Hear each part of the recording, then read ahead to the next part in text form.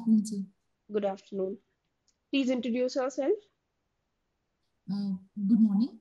My name is Akansha. I belong from Gaya, Bihar. I have done my schooling from my hometown itself, and I've completed my law from Bharatiya Vidyapeeth University, Pune, and I graduated in the year 2020. In my family, I have my father, who is an advocate and practices at Gaya District Court, and my mother, who is a former teacher and is now a housewife. I have a younger brother who is also preparing for law. So you have a family background of advocacy. Why do you want to come in judiciary? Why don't you join your father in advocacy? Ma'am, first of all, I would like to state that both the judicial, uh, both the judiciary and uh, the lawyers are equal stakeholders in the justice dispensation system. But my interest always was uh, to first uh, uh, go into judiciary, and I always had an inclination towards judiciary. So right now, I want to give 100% to my dream. Obviously, if that's not possible, I would be opting uh, to practice. Uh, and ma'am, since also the reason I got inclined towards this uh, service is because I have tried all other uh, all other dimensions in my internships, and still I thought that I should first uh, give the best to my dream, and then I might join the service practice if that's not possible. What dimensions are we talking about? Uh, ma'am, lit- I have interned. Uh, I have done many litigation internships, and I have also done corporate internships. Uh, and ma'am, doing both of them, and after uh, 2020, when I graduated, uh, I and in my final year only, I also started studying for the judicial service examinations. Uh, ma'am, there I realized that uh, most of my interest goes into uh, studying, and ma'am, I also uh, I also realized that I have. A lot of uh, traits and uh, I, I that a judicial officer should have although that is subject to the better judgment of uh, the board uh, What I, I I, uh, ma'am, like I believe I am compassionate and empathetic.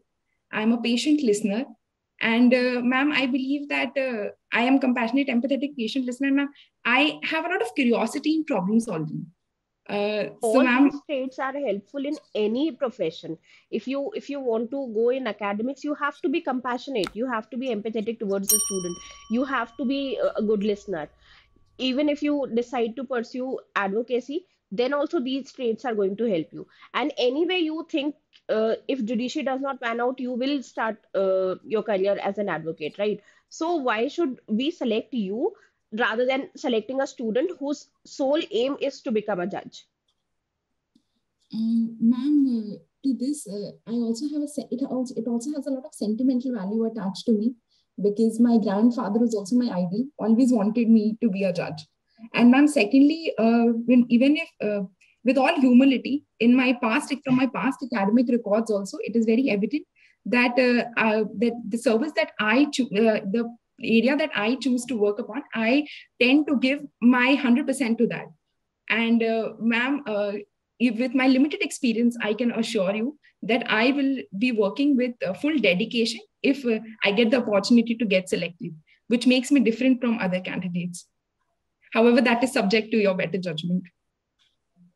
Have you judged the other candidates? How do you know that they will not work uh, 100% efficiently? How Mm, how are you drawing this con uh, comparison between you yourself and the other candidates? Um, ma'am, I apologize, uh, but I did I did not tend to compare myself uh, because I think, ma'am, that is, uh, ma'am, that is what you are uh, there for. Uh, but, uh, ma'am, I believe I can vouch for myself, and uh, that is what I assure uh, that I will. I I have worked uh, in my past with full dedication and discipline, and uh, I assure that I will be doing that in my future. Hmm. Okay, Saurabh sir. तो अच्छा law ज़्यादा ऊपर होता है या justice sir it is the rule of law जो सबसे ऊपर होता है और uh, हम लॉ को इंटरप्रेट करके जस्टिस uh, दे सकते हैं हार्मोनियस इंटरप्रिटेशन करके अच्छा। तो अगर कभी आप इस स्थिति में हो कि आप लॉ तो फॉलो कर रहे हो बट उस लॉ को फॉलो करने से जस्टिस नहीं हो पा रहा फिर क्या करोगे? लॉ फॉलो करोगे कि जस्टिस करोगे? सर हार्मोनियस इंटरप्रिटेशन करूँगी मैं लॉ का ऐसा कि जस्टिस हो जाए। हारमोनियस लॉ इंटरप्रिटेशन का मतलब तो जब दो लॉज में कंट्रोवर्सी होती है तब आता है। मैं हारमोनी में दो लॉज के बीच कंपैरिजन की बात नहीं कर रहा हूँ। मैं लॉ और जस्टिस के कंपैरिजन की बात बीच की बात कर रहा हूँ। Sir I will try to do justice but but law में ऐसा क्या है? लॉ में ऐसा क्या है जो जज को जस्टिस प्रोवाइड करने का पावर देता है? ऐसा क्या है? पढ़ी है जो जज को पावर देता है कि वो जस्टिस कर सके। भाई जो शब्द लिखे हैं वो तो एक अलग इशू है। इसके अलावा कुछ है लॉ में ऐसा?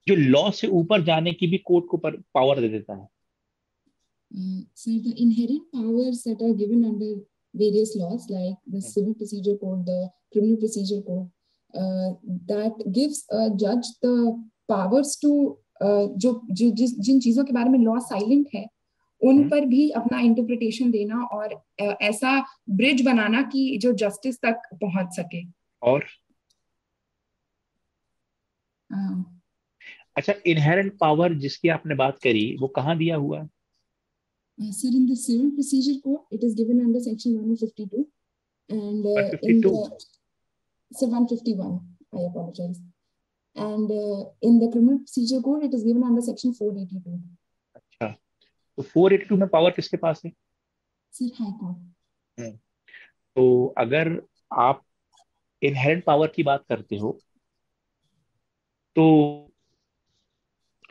फिर वो तो क्रिमिनल कोर्ट्स में केवल क्रिमिनल केस में केवल हाई कोर्ट के पास है? लोअर कोर्ट के पास क्या है?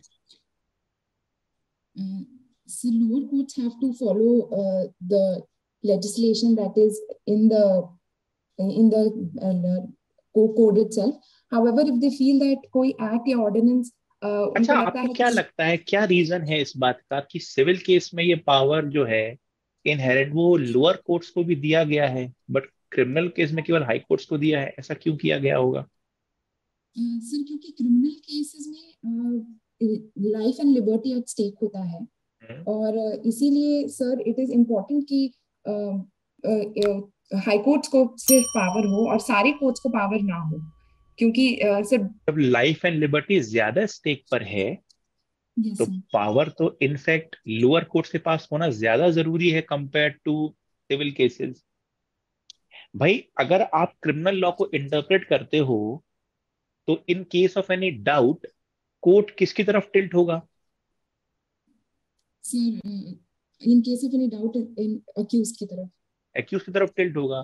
तो जब एक्यूज की तरफ़ टिल्ट होना ही है रीजन बीइंग द सेम कि भाई वो उसमें लाइफ और लिबर्टी स्टेक पर रहती है। तो ये पावर तो लोअर कोर्ट के पास भी होना चाहिए था ना? इसका मतलब ये है कि अगर किसी व्यक्ति को लाइफ एंड लिबर्टी स्टेक पर है तो वो पहले लोअर कोर्ट जाएगा लोअर कोर्ट का पावर हर कोई कोई तो हाई कोर्ट जा नहीं सकता तुरंत। पहले इंसान उसी कोर्ट के पास जाएगा जो इजीली अवेलेबल होगा जो पास में होगा। हाई कोर्ट हर जगह तो होता नहीं है। तो लोअर कोर्ट्स के पास ज़्यादा पावर होनी चाहिए ना उस कॉन्टेक्स्ट में तो। फिर? Sir I believe the approach is sir I believe the intent of the legislature would be दोनों साइड से सोचना है। Sir not only the life and liberty of the accused is at stake but sir societal interest भी stake पर है। uh, उसको भी balance करना है। Because crime is an sir because crime is against the society at large inherent powers तो होती क्यों है? इनहेरेंट पावर्स आपको दी क्यों जाती है? जैसा कि आपने अपना आंसर शुरू किया था कि जस्टिस डिलीवर करने के लिए दी जा रही है ना? Right right? तो इनहेरेंट पावर से अगर कोर्ट को फ़ायदा हो रहा है सोसाइटी को जस्टिस मिल रहा है तो फिर लोअर कोर्ट को क्यों नहीं दिया गया? Actually that is the point that is the point कि भाई ये आप ये क्यों कह सकते हो कि केवल हाई कोर्ट ही काम कर सकता है? लोअर कोर्ट भी तो कर सकते हैं ना? Sir I believe legislative intent ये रहा होगा कि थोड़ा बेटर जुडिशियल माइंड का एप्लीकेशन ज़रूरी है इन केसेस जहाँ पे life and personal liberty stake पे है। और सर सिंस हाई कोर्ट्स क्योंकि मोर एक्सपीरियंस्ड कोर्ट्स हैं एंड मोर एक्सपीरियंस जजेस हैं तो बेटर एप्लीकेशन ऑफ़ माइंड और सर हमारे लोअर कोर्ट्स के पास को अगर लगता है कि Uh, कोई ऐसा एक्ट ऑर्डिनेंस है जहाँ पर इनजस्टिस है तो सर हम रेफरेंस कर रेफरेंस के लिए हाई uh, कोर्ट के पास केस फिर भी भेज सकते हैं। तो सर आई थिंक कि बैलेंस ऑफ़ इंटरेस्ट बनाने के लिए बैलेंस क्योंकि सोसाइटल इंटरेस्ट भी देखना है और अक्यूज uh, की लाइफ एंड लिबर्टी को को भी बैलेंस करना है। आई थिंक हाई कोर्ट्स को ये पावर इसीलिए दी गई है। एक तो इनहेरेंट पावर हो गया। और क्या है? लॉ में ऐसा जो शब्दों के अलावा जज यूज़ कर सकता है to provide justice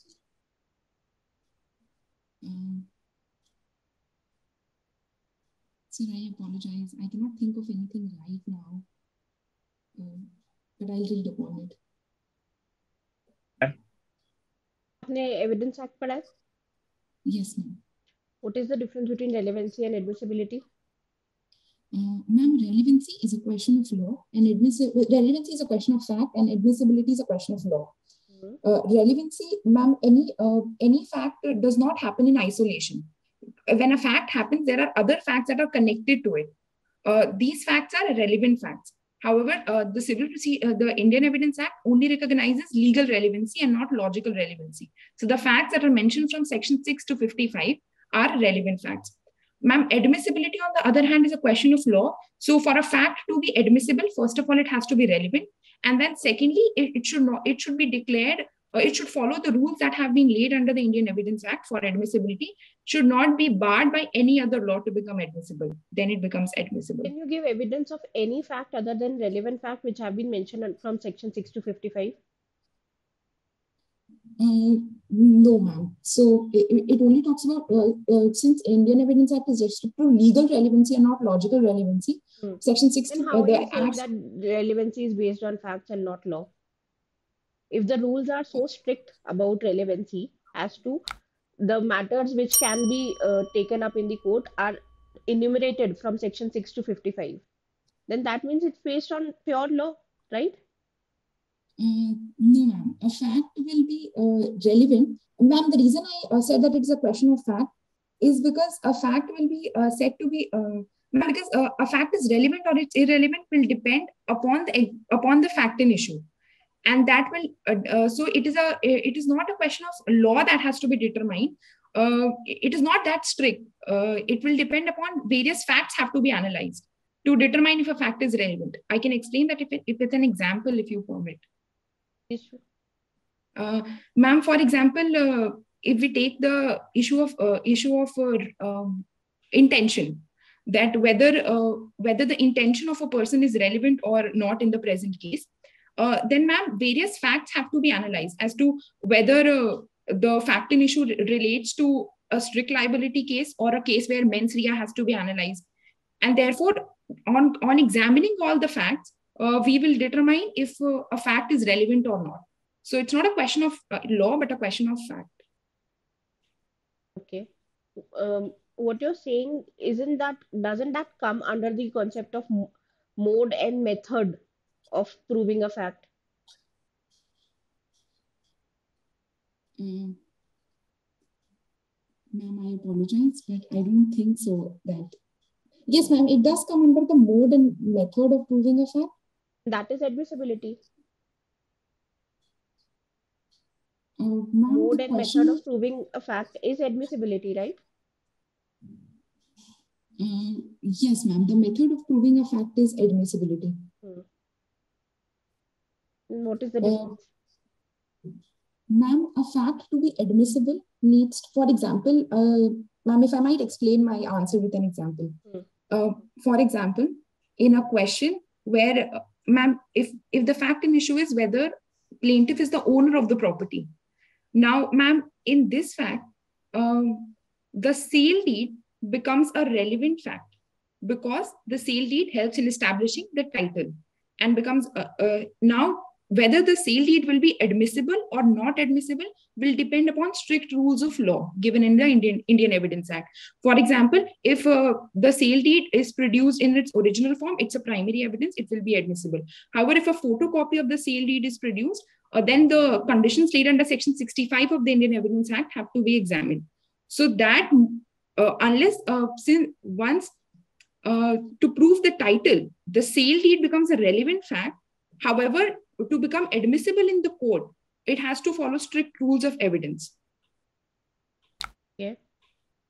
ये बताइए कि सिक्सटी फाइव बी किस बारे में बात करता है Uh, ma'am, it talks about admissibility of electronic evidence. Hmm. Uh, ma'am, it lays down uh, so it lays down certain criteria where uh, which have to be fulfilled and a certificate has to be attached uh, uh, stating that these conditions have been fulfilled when um, an electronic evidence is produced in the court however a caveat that i would like to add here is when the evidence when the electronic evidence itself for example the mobile phone itself is produced in the court the certificate is not required but when uh, a secondary evidence is produced from that electronic evidence for example a CCTV footage is taken out and produced before the court, then uh, such a uh, such certificate is required. Who, who gives that certificate? Who is the Uh, ma'am, although uh, the Indian Evidence Act does not clearly state that who shall be the authority, but any person who ha- who holds a position where he can uh, vouch for the correctness of that uh, um, of that uh, electronic evidence will uh, will sign uh, that. For example, ma'am, uh, ma'am, I apologize. I do not remember the exact uh, word. I think it is respectable. Uh, I'm sorry. I, I apologize. I'll read upon it. I do not remember the exact word. uh, Akanksha cause of action matter in issue इन दोनों में difference क्या है सिर्फ़ cause of action का मतलब होता है that a person has a right and उसका वायलेशन ऑफ़ वो राइट हुआ है तो उसको क्लेम करने के लिए ही gets a cause of action sir matter and issue का मतलब होता है how did that person get the right for example sir अगर कोई पर्सन ओनरशिप क्लेम कर रहा है uh, अगर कोई पर्सन कहता है कि मैंने ओनरशिप अक्वायर की है थ्रू सेल डीड तो सर उसका मैटर एंड इशू होगा दैट ही हैज़ सेल और सर uh, टाइटल होगा ओनरशिप मैटर इन इशू और मैटर इन डिस्प्यूट के बीच में क्या अंतर होता है?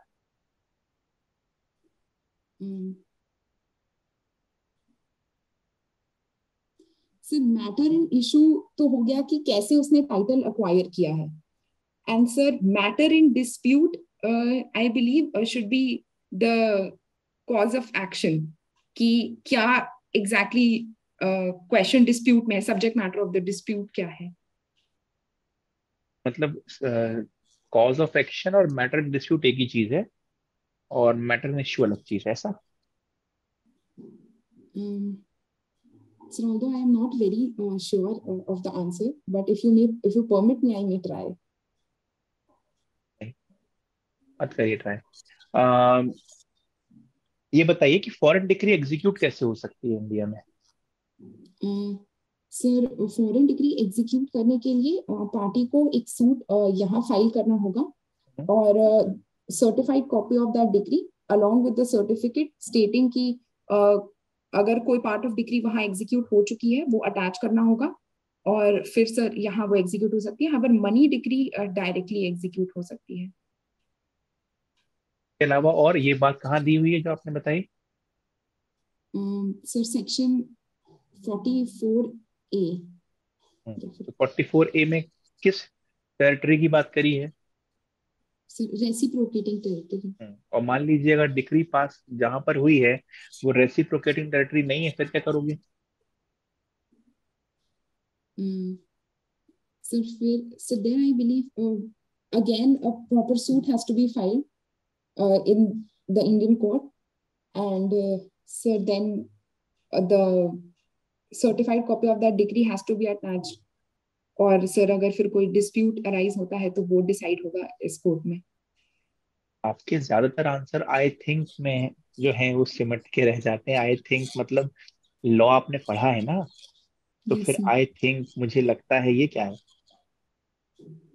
सर सो बिकॉज़ अच्छा क्रिमिनल लॉ पसंद है कि सिविल लॉ पसंद है? सिविल लॉ सिविल लॉ पसंद है। डिग्री को क्या ट्रांसफ़र किया जा सकता है? यस सर कैसे कैसे ट्रांसफ़र कर सकते हैं?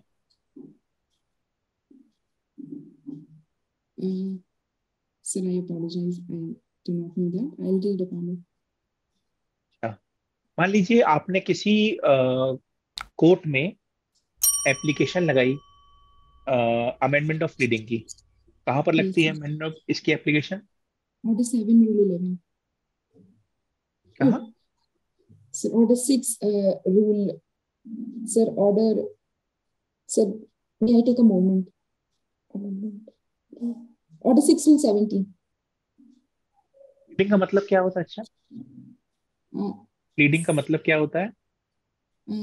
Sir include the the plaint the WS the rejoinder and other such तो मान लीजिए अमेंडमेंट ऑफ़ प्लीडिंग की एप्लीकेशन लगाई और कोर्ट ने रिजेक्ट कर दी एप्लीकेशन तो पार्टी के पास क्या रेमेडी है. सर पार्टी के पास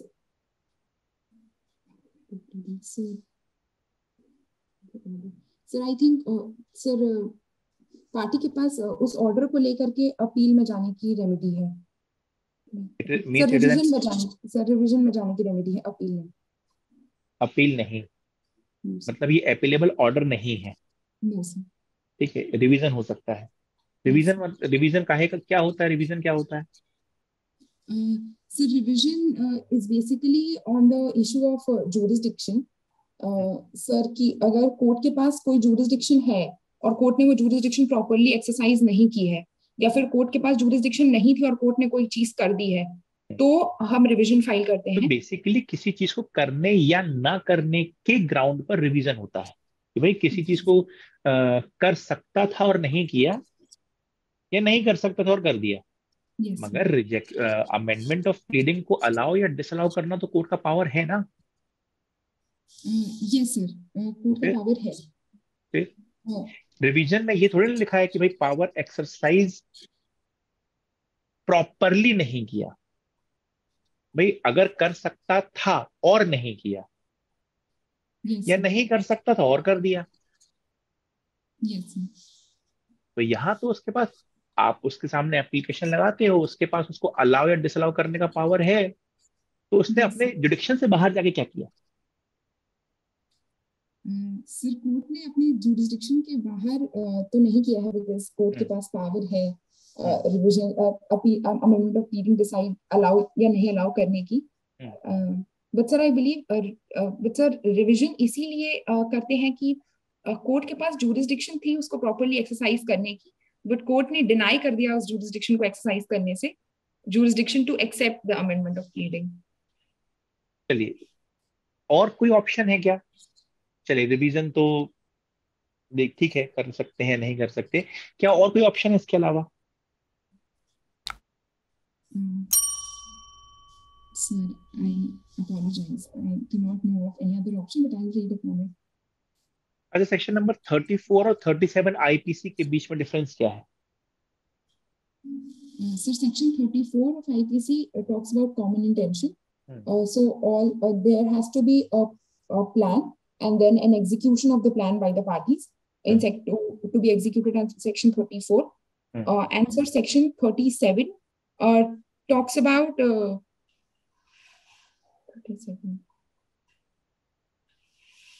um, so I do not exactly remember what section seven is, but uh, um, so I apologize. I do not remember section 37. It just slipped my mind. Ma'am, what is the difference between common intention and similar intention? Uh, Ma'am, the difference between common intention and similar intention was discussed in the case of Mehboob Shah versus King Emperor. Uh, Ma'am, in common intention, uh, there has to be a, a, a proper plan uh, and then execution of that plan. However, ma'am, in similar intention, uh, there is uh, that is a loose kind of uh, agreement. So, ma'am, that can be explained by an example. Uh, for example, five, pe- uh, for example, two people uh, agreed to rob a bank, and then in the execution of their plan, they rob a bank. Hmm. However, in uh, similar intention, ma'am, uh, two people uh, go to rob a bank. Both of them have the intention to rob a bank. However, they have not discussed their intention. Now, their intention is similar, that is to rob a bank But, but that is not common. They have not discussed a plan and they do not share that intention with each other and then execute the plan. So, ma'am, they have similar intention to rob the bank, but uh, in common intention, they both of them uh, would have uh, a proper discussion of it and then would execute the plan. So you're अच्छा saying ये कि जो similar difference है किस intention हाँ हम्म, ये किस case में कोर्ट ने कहा ये जो डिफरेंस बताया वो किस केस में बताया Uh, sir, in the case of Mehboob Shah versus King Emperor. ठीक है मैम आप पूछ लीजिए similar intention on the spot develop होता है और कॉमन इंटेंशन प्री प्लान्ड होता है। Uh, ma'am, although not necessary है कॉमन the spot इंटेंशन और कॉमन ऑब्जेक्ट में क्या डिफरेंस हुआ? Ma'am, common object एक loose kind of agreement है। वो भी लूज काइंड ऑफ़ एग्रीमेंट है कॉमन ऑब्जेक्ट भी। फिर सिमिलर इंटेंशन और कॉमन ऑब्जेक्ट में क्या डिफरेंस हुआ? मैम सिमिलर इंटेंशन में कोई अग्रीमेंट नहीं है पार्टीज़ के बीच में। हम्म। So if there are two hmm. Both of them have the intention to kill a third person hmm. इन दोनों ने कोई प्लान डिस्कस नहीं किया है। अब इन दोनों इन दोनों पर इन दोनों का इंटेंशन वही है।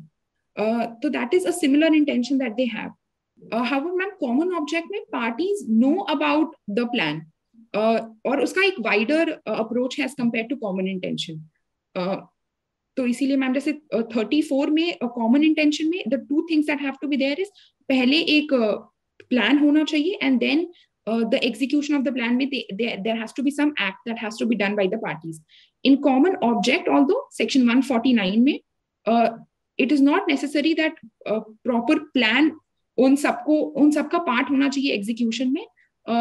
People who know about that plan also will be liable under common object उन मतलब मैम एक प्रॉपर एक प्लान उनको पता होना चाहिए बट उनका execution it is not necessary that हर इंसान का एक रोल होना चाहिए उसमें. It is a loose kind of agreement common object में आप बता रहे हो ये? यस मैम कि एग्जीक्यूशन में पार्ट नहीं लिया तो भी चलेगा. पाँच यस लोग पाँच लोग ऑफेंस करने गए थे तीन ही लोगों ने किया दो ने नहीं किया तो that is also common object ma'am but पाँच लोग ऑफेंस करने गए थे उन पाँचों को ये बात पता होनी चाहिए that they have gone to do the offence और या फिर इवन इफ़ उनको ये नहीं पता है कि एग्जैक्टली exactly ये ऑफेंस है बट उनको ये पता होना चाहिए that this can happen so there has to be a probability that they know for example ma'am if five people go to kill a person and all of them are holding lathi and one person uh, takes out a revolver and kills that person. Now ma'am the four of them cannot plead that they did not have the common object to kill that person by a revolver because that is something that they knew that might happen uh, in the act that they are doing. So ma'am that is how they'll be prosecuted under section 149